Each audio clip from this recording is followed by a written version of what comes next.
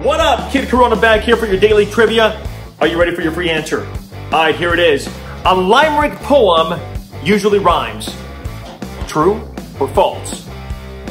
The answer is A, absolutely true. There you go. Enjoy your day, and I will see you next time.